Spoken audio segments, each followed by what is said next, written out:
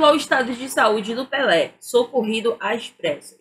Bom, pessoal, para quem não acompanhou, ontem, dia 1 de dezembro de 2022, a gente soltou um vídeo aqui, certo? Anterior a este, informando que o Pelé foi socorrido às pressas com alguns problemas de saúde. Mas até então, naquele vídeo, o estado de saúde dele não tinha sido detalhado. Só que aqui nesse vídeo a gente vai estar te dando alguns detalhes sobre o seu boletim médico, o seu atual estado de saúde. Que é o seguinte: segundo o último boletim médico divulgado pelo Hospital Albert Einstein, Pelé está estável e se mantém capaz de realizar suas funções vitais.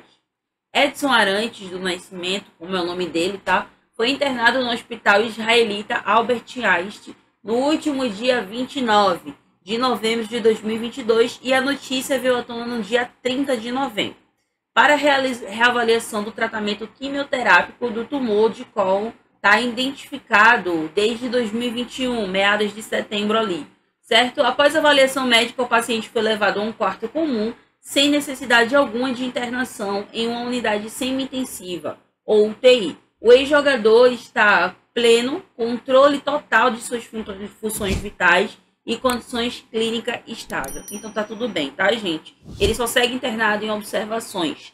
É isso, deixe seu comentário, seu like, se inscreva no canal se não é inscrito e até o próximo vídeo aqui.